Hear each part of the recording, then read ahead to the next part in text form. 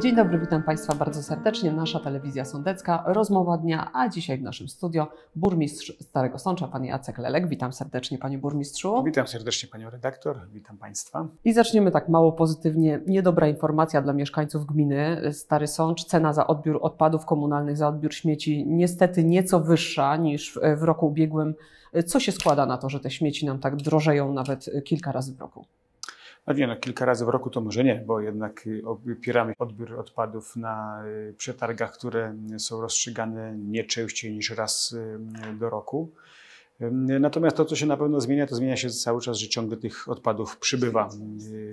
Więc szukając zawsze jakiegoś pozytywu, to zawsze można mówić, patrzeć, że no dobra, skoro przybywa, to znaczy, że więcej kupujemy, więcej, na więcej nas stać, więc to oczywiście tak można by przewrotnie powiedzieć, ale, ale efekt uboczny tego jest, że rzeczywiście y, po pierwsze ceny odbioru odpadów rosną, a z roku na rok jednak te oferty, które otrzymujemy są coraz wyższe, już może bez takich drastycznych skoków, jak to było w latach poprzednich, ale jednak są wyższe. No, a z drugiej strony tych odpadów oddajemy y, coraz więcej. Dlatego właśnie y, no, te ceny są siłą rzeczy potem odpadów, te, które się odbijają na cenach, które płacą poszczególni mieszkańcy większe. Natomiast no, tutaj bardzo ważna rzecz, że analizując i przygotowując no, tą nieuchronną podwyżkę opłat, jednak wzięliśmy też bardzo mocno pod uwagę też pewną specyfikę.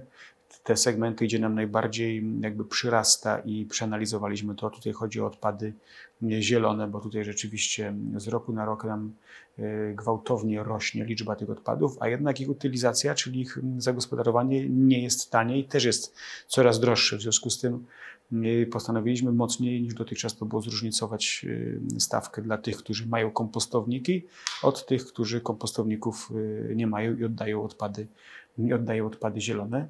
Dlatego tutaj podwyżka jest 2 zł bądź 3 zł właśnie dla tych, którzy kompostowników nie, mają.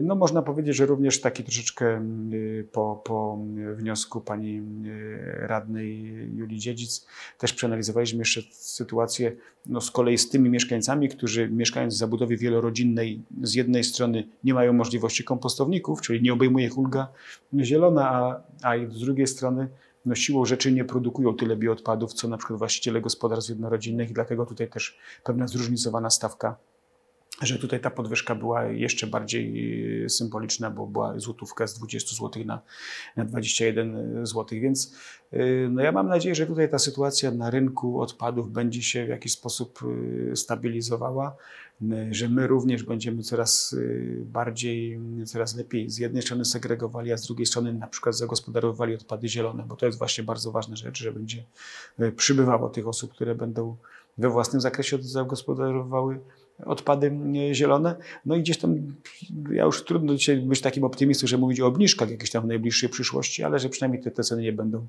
nie, nie będą rosły. No nadmienię, że pomimo takich y, cen, yy, które podwyższenia, to cały czas, jeżeli chodzi o, o tutaj nasz region, jesteśmy, w, można powiedzieć, w takiej w środku, a może nawet poniżej, poniżej tej średniej opłaty. Natomiast z drugiej strony ciągle jest y, konieczność dopłacania do, do, do, tej, do, tego systemu z budżetu, bezpośrednio z budżetu. Jakby te, te kwoty to, to nam nie rekompensują nam w pełni y, kosztów, więc, więc y, no tutaj trzeba też jakby no, zauważyć to, że, że to też jest gest ze strony samorządu, że jednak nie chcemy tak całkowicie obciążać mieszkańców tymi kosztem, kosztem gospodarki. Natomiast no, oczywiście no, ważne jest, żebyśmy szukali, szukali sposobów, Y, nie tylko na naszym poziomie, bo to jest sposób, tych sposobów musimy szukać na, też na tym poziomie e, najwyższym, y, wprowadzanie wiem, systemów kaucyjnych, wprowadzenie, tak żeby tych odpadów było coraz mniej, ale również sposoby zagospodarowania tych odpadów, to też nie ulega wątpliwości, że są bardzo istotne, żeby, żeby one się poprawiły w Polsce. To jest zadanie absolutnie przekraczające taką małą gminę jak y, Stary Sącz. Też dodam, że szukając takich lepszych ofert, y, postanowiliśmy w tym roku zrobić przetarg. Wspólnie z trzema gminami połączyliśmy siły, żeby uzyskać lepsze oferty od, od firm. Y, no myślę, że to się w jakiś sposób udało. Y, ten, ten przetarg na od, odbiór odpadów realizowaliśmy wspólnie z gminą Łącko i gminą Nawojowa. No, troszeczkę mamy zawirowania jeszcze cały czas sprzęt nierozstrzygnięty, jest ciągle przetarg na odbiór odpadów segregowanych. Tutaj Jedna z firm odwoływała się już, już drugi raz. Czekamy na kolejną rozprawę, więc na wynik do, i do, i do zakończenia się tej sprawy to będziemy musieli się jeszcze wstrzymać Czyli z harmonogramu jako tako nie ma, tutaj można... Harmonogram jest do lutego taki pewny, natomiast no, zakładam, że ten harmonogram będzie realizowany według, według założeń, tylko jest pytanie, kto to będzie realizował. No, dzisiaj jeszcze z, z, ze stuprocentową pewnością nie możemy e, powiedzieć. Postępowanie trwa, więc tak długo trwa, więc tutaj werdyktu nie ma. Wspomniał Pan Burmistrz o tym, że ta cena y, w porównaniu do innych gmin, nie tylko tutaj z terenu y, regionu, ale pewnie i, i, szerzej patrzący, nie jest y, wygórowana, jest niższa niż w innych miejscowościach. Czy ma na to wpływ to, że gmina posiada własne składowisko odpadów komunalnych? Czy to jakoś się przekłada na cenę? To znaczy wprost nie, dlatego że składowisko odpadów komunalnych działa zupełnie poza systemem. My tutaj nie mamy żadnych ulg te odpady, które są odbierane od mieszkańców z gminy Stare Sącz, one tak są odbierane przez firmę, wędrują do sortowni i dopiero sortowni jako pewien taki posort, ale to już jest rozliczenia pomiędzy firmami, wędrują do, do w zależności od tego, gdzie, gdzie ta firma będzie to nie realizowała. Tutaj jakby nie ma takiego wprost znaczenia. Natomiast oczywiście mm, można interpretować w ten sposób, że dzięki temu, że mamy składowisko odpadów, mamy z tego tytułu pewne dochody jako spółka, a spółka tymi dochodami również Y, również gmina y, jako opłatę środowiskową czy podatek od, od spółki, no to to są pieniądze, które możemy wykorzystać i wykorzystujemy na dopłatę, żeby zbilansować ten system. Więc jakby w tym kontekście tak, to nie jest żaden automat, ale rzeczywiście ze składowisk odpadów jest źródłem pewnych dochodów dla gminy, które mm, mogą być wykorzystywane i są, można powiedzieć, w jakiś sposób wykorzystywane do tego, żeby nie całością kosztów systemu obciążać mieszkańców. Bo to są duże kwoty w skali roku, prawda, które samorząd y, dopłaca do tej gospodarki śmieciowej, tak to To znaczy oczywiście czyli... zawsze po, po, podsumowaniu roku to dopiero tak do końca, to, tak do końca wiemy. Kiedyś y, to były znacznie niższe kwoty, nie ukrywam, że to były takie naprawdę, byliśmy bardzo blisko bilansu się pomimo niższych cen odpadów, ale też wtedy niższe, znaczy niższych cen opłat od mieszkańców, ale też były niższe ceny e, usług odbioru. Usług odbioru. Natomiast no, w tej chwili no, to szacuję, że za rok 2021 to jest około miliona złotych musieliśmy, żeby także to jest naprawdę bardzo dużo, jeżeli sobie przeliczymy na mieszkańca. I na inwestycje, które można zrealizować, to jest pewno e, suma znacząca, może nie jakaś bardzo duża, ale znacząca. Miejmy nadzieję, że mm, te usługi nie będą drożeć, ale też chyba myślę, że powinniśmy zacząć od siebie tych śmieci próbować przynajmniej produkować troszeczkę mniej. No tak, to jest właściwie, naj, to, to jest właściwie najwa, to jest najważniejsze zadanie, że, żebyśmy tutaj nawet już wybierając produkt, który kupujemy, chcieli się zastanawiać nad tym, ale to nie jest prosta sprawa, łatwiej o tym opowiadać, natomiast... No, czy zamiast 10 małych jogurtów takie, kupić trzy duże, no, no to, myślę, jest, tak, to, jest, to, już, to już jest dokładnie, to już jest krok, to już jest krok wtedy w dobrą stronę. I wesołe informacje pozytywne nie tylko dla mieszkańców, bo myślę, że także dla osób, które będą odwiedzać Stary Sącz i będą odwiedzać to miejsce, o którym za, za chwileczkę powiemy. Jest umowa pomiędzy gminą a przedsiębiorcą, który wybuduje e, zarówno skatepark, jak i pump track. E, lokalizacja to jest niedaleko osiedla słonecznego za nowo wybudowanym kościołem. Dokładnie. Ja mogę dzisiaj powiedzieć, że już się prace ruszyły w terenie, więc, więc yy, mam nadzieję, że jeżeli pogoda nie pokrzyżuje planów, to tak zgodnie z wszystkimi przewidywaniami na wakacjach ten y, kompleks rozrywkowy, taki rekreacyjny bardziej może w ten sposób dla młodych ludzi będzie otwarty. Przypomnę, tam są dwa tory pump tracka, taki dla mniej zaawansowanych, dla bardziej zaawansowanych oraz skatepark, taki zintegrowany z tym całym e, parkiem skatepark. Więc e, to będzie takie miejsce, na które no, nie ukrywam, że młodzież e, bardzo dawno o to wnioskowała. Cały czas zainteresowanie tym, jest, tym projektem jest rzeczywiście bardzo duże. Zdaję sobie sprawę, że niektórzy z tych, którzy wtedy bardzo wnioskowali, to trochę już podrośli, ale być może, że bardziej zaawansowany pump track będzie również dzisiaj spełniał ich oczekiwania i mam taką nadzieję. E, dodatkowo jeszcze powiem, że no ten tor, e, ten park rekreacji będzie znajdował się zupełnie niedaleko Dunajca, bardzo ładnych terenów zielonych. Tam są niedaleko fajne trasy rowerowe. A oprócz tego już tam obok powstaje osiedle mieszkaniowe nowe, jedno, za chwileczkę drugie. Więc to będzie taki teren, który będzie z jednej strony służył wszystkim, ale również będzie takim no, też ciekawym, rekreacyjnym zapleczem dla, dla nowych mieszkańców Starego Sącza. To trzeba chyba też się liczyć z tym, że osoby mm, spoza gminy będą odwiedzać ten pump track, bo patrząc na przykład na to, co się działo przynajmniej w tych okresach letnich u sąsiada, czyli w gminie Piwniczna, tam taki pump track powstał całkiem niedawno, no to rzeczywiście chyba nawet więcej osób było spoza gminy Piwniczna niż, niż rodzimych, więc tutaj chyba też się trzeba liczyć z tym, że, że że gości będzie miał Stary Sącz. Absolutnie Także tak. w tym miejscu. Absolutnie, no, dokładnie. Dziękuję za to, że pani redaktor to zauważyła. Także w tym miejscu będziemy mieli gości. Jestem tego o tym przekonany. Zresztą po to to robimy. Przypomnę, że to jest e, realizowane z tej tarczy e, dla gmin górskich, czyli to jest jakby zadanie z jednej strony podnoszenie komfortu życia mieszkańców, ale budowanie również tej szerszej oferty. Stary Socz takim rowerowym miejscem się stał. Już nie mówię, że się staje. Stał się już bardzo mocno rowerowym, a teraz powstają takie bardzo kolejne atrakcje właśnie z rowerami związane. W Barcicach po jednej stronie gminy miasteczko rowerowe dla takich, takich młodszych y, adeptów kolarstwa y, i takiego może takiego spokojniejszego przygotowania do, do, do funkcjonowania w ogólnym ruchu na drogach.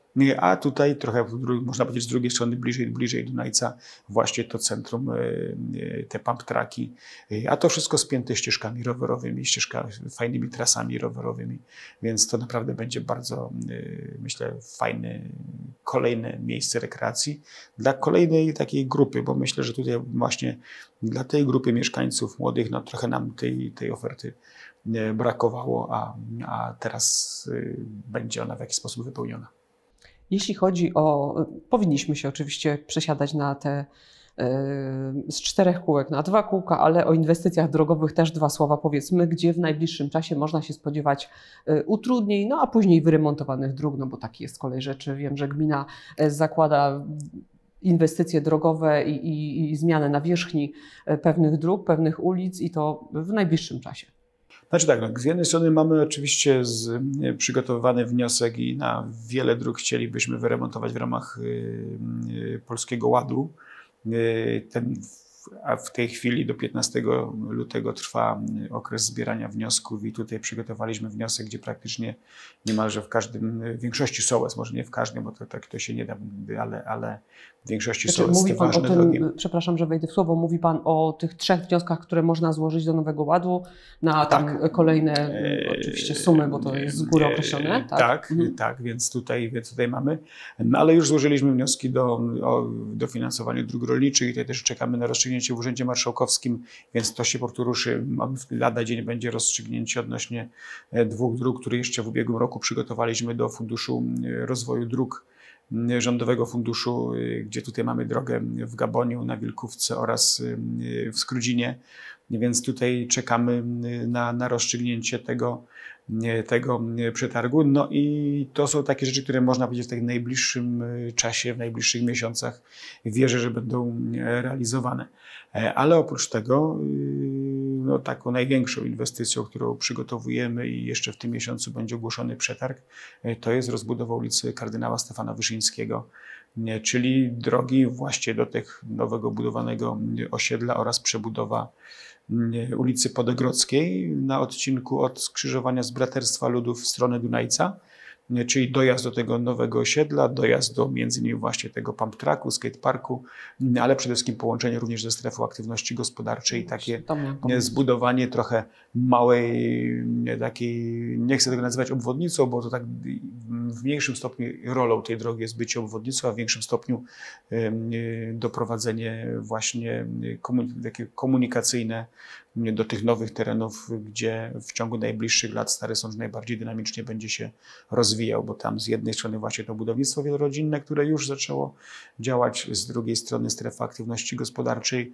która troszeczkę jakby bliżej y, drogi wojewódzkiej będzie się rozwijać. No i też komunikacja pomiędzy tą strefą mieszkaniową a strefą rekreacyjną nad stawami, bo również ta droga tą komunikację otworzy, no i potem dalej oczywiście do Nowego Sącza i i, i, I, więc to są takie bardzo ważne zadania, które, które w tej chwili będą realizowane i to można powiedzieć, że na drogach, y, jeżeli to będzie, znaczy na to mamy już finansowanie, mamy, tylko teraz będzie przetarg y, w formule zaprojektuj i wybuduj, więc na pewno na efekty, na pracy drogowej jeszcze trochę poczekamy.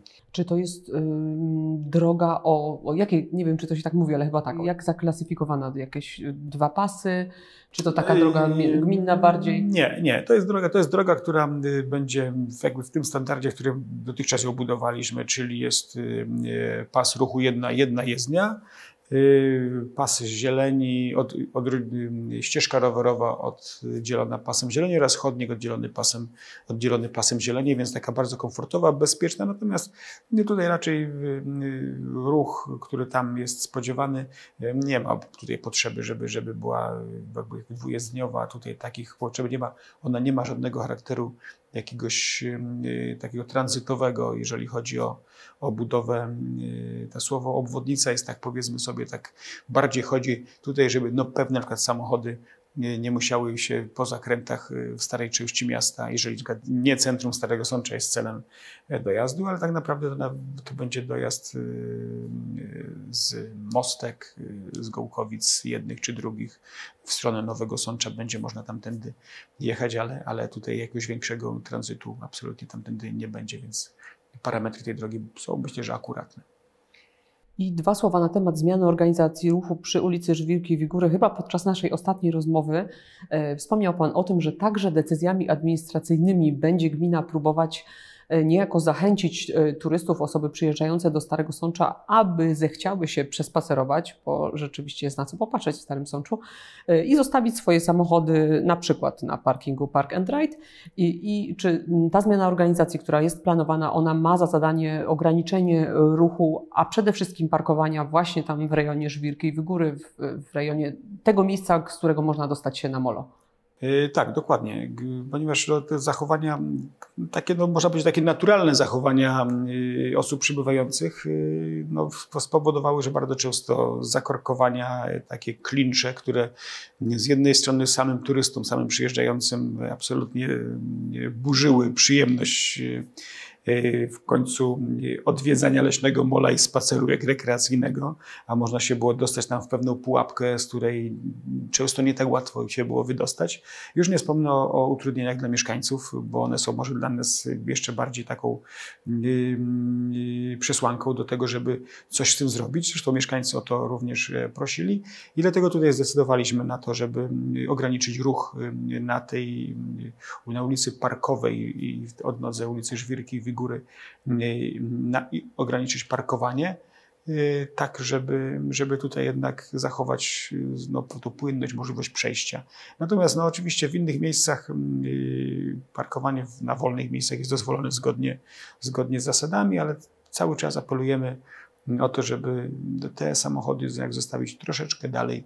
Naprawdę y, okolice rynku już są w zupełności na tyle blisko miejskiej góry i, i, że to już jest dobre miejsce na zostawienie samochodu, a można powiedzieć, że idealnym miejscem już teraz, a za chwilę jeszcze bardziej idealniejszym będzie, będzie parking y, Park and Ride przy dworcu autobusowym, y, dlatego że, że no stamtąd tam tego miejsca nigdy nie zabraknie. Myślę, że i, i stamtąd spacerek będzie naprawdę bardzo ciekawy i już od samych, od pierwszych, od pierwszego momentu atrakcyjny w drodze na Leśne Molo. I ostatnie moje pytanie, kiedy otwarcie mm, Centrum Kultury i Sztuki, e, tego, które e, no tak spektakularnie możemy oglądać od ulicy Daszyńskiego, na razie tylko tą zewnętrzną część, kiedy będzie można e, zobaczyć, jak to wygląda w środku? No powiem tak, y, na pewno y, w ciągu miesiąca będziemy już po oficjalnym otwarciu. To znaczy, my dzisiaj mamy y, początek lutego, Dzisiaj jest ósmy, tak? Tak. Więc y, jak, jak to nagrywamy, y, rozmawiamy, y, więc na pewno przed 8 marca będziemy już po oficjalnym otwarciu, będą już w pełni tętniły zajęcia. Pewne zajęcia tam już są nie takie, można powiedzieć, pilotażowe, realizowane, ale to w takich zamkniętych, zamkniętych grupach. No, troszkę nam teraz taki pik pandemii kolejny y, pokrzyżował plany, bo chcieliśmy to już robić właściwie w tych dniach, które w tej chwili, no ale troszkę tak z drugiej strony nie chcielibyśmy jednak y, zaprzepaścić tej szansy na to, żeby troszkę jednak z pewną y, taką Pompą. większą, większą y, pompą ucieszyć się z tej naprawdę bardzo ciekawej, ważnej i myślę, że, że nawet jeżeli ktoś dzisiaj jeszcze nie wie, jak bardzo czeka na, na realizację tej inwestycji, to, nie, to myślę, że w przeciągu paru miesięcy się przekona, jak ważna i, i fajna i pożyteczna dla Starego Sącza jest to inwestycja. Dziękuję serdecznie za rozmowę, za wizytę w studio, e, widzom i internautom za uwagę. Do zobaczenia. Dziękuję bardzo.